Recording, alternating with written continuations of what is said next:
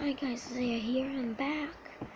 Uh, I didn't make a video for quite a few days because I was in Tulsa, Oklahoma. Um, it was for two days we were staying there because um my mom's boyfriend had to get the rest of his stuff in Tulsa, so we stayed there for two days in the hotel. And we we're heading back uh, we got a car crash, and then I was the only one injured.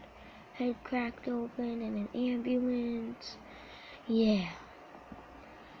Um, and then we had to stay um, in Tulsa, Oklahoma for one more day. And then we had to rent a car, come back, um, bring the rent car to Sioux Falls because we live in um, Worthington, Minnesota, and my grandma had to come pick us up, and we had to head to um, Worthington, Minnesota, yeah. And when I was in Tulsa, um, my mom's boyfriend got me this. Mudkip! A Pokemon. Uh, yeah.